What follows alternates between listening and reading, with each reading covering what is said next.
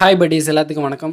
Today we can see about a topic of India when to become a developed country இந்திய நாடானது எப்பொழுது வல்லரசு நாடாக மாறும்? இதை பற்றி தான் இந்த வீடியோவில் பார்க்க போகிறோம் நம் நாட்டின் முன்னாள் பிரதமர் டாக்டர் ஏபிஜே அப்துல் கலாம் அவங்க சொல்லியிருக்காங்க ரெண்டாயிரத்தி இருபதில் கண்டிப்பாக இந்தியா ஒரு வல்லரசு நாடாக மாறும்னு. ஆனால் ரெண்டாயிரத்தி இருபதில் உலகம் ஃபுல்லும் கொரோனா வைரஸ் வந்து தான் இருக்குது ஓகே வாங்க வீடியோக்குள்ளே போகலாம் இந்த உலகத்தில் பிறந்த ஒவ்வொருவருக்கும் ஒவ்வொரு எய்ம் இருக்கும். அதே மாதிரி தான் ஒவ்வொரு நாட்டுக்கும் இருக்கும். அந்த எய்ம் தான் நம் நாடு வல்லரசு நாடாக மாற வேண்டும் என்ற ஒரு குறிக்கோள். அந்த குறிக்கோளை பல நாடுகள் அடைய வேணும்னு தீவிரமாக செயல்பட்டுக்கிட்டு இருக்காங்க. நம்ம நாடான இந்தியாவும் அதே குறிக்கோளை அடையணும் தான் செயல்பட்டுக்கிட்டு இருக்காங்க. ஆனால் இன்னும் அதை ஏன் அடைய முடியலை? வல்லரசு நாடுனா என்ன? வல்லரசு நாடுனா சர்வ வல்லமை படைத்த மிகவும் சக்தி வாய்ந்த பொருளாதாரம் வல்லமை பெற்ற செல்வாக்கு மிகுந்த நாடு தான் வல்லரசு நாடுன்னு சொல்லுவாங்க. ஃபார் எக்ஸாம்பிள் சொல்லணும்னா ஒரு கிராமத்தில் நாட்டாம ஜமீன்தார் மிட்டா மிராசு பண்ணையார் இவங்கள தான் ஊர் தலைவர்களாக சொல்லுவாங்க.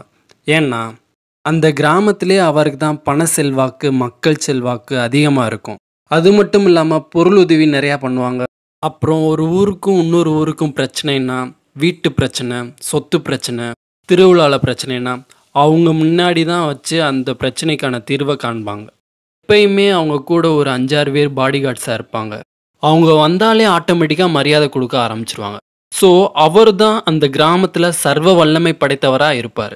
அதே மாதிரி ஒரு நாடு இருக்கிறது தான் வல்லரசு நாடுன்னு சொல்லுவாங்க ஒரு கம்பெனியில் செலக்ட் ஆனாலே ஒவ்வொரு குவாலிஃபிகேஷன் இருக்குது ஒரு கம்பெனிக்கே அப்படின்னா ஒரு நாடு வல்லரசு நாடு ஆகணும்னா அதுக்கு சில குவாலிஃபிகேஷன் இருக்குது அதில் ஒரு சில குவாலிஃபிகேஷனை தான் அந்த வீடியோவில் பார்ப்போம்.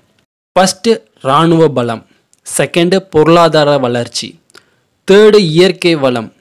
ஃபோர்த்து அரசியல் கட்சி. இந்த நாளையும் அடிப்படையாக வச்சு தான் ஒரு நாடு வல்லரசு நாடாக மாறுமா மாறாதான்னு கூற முடியும்.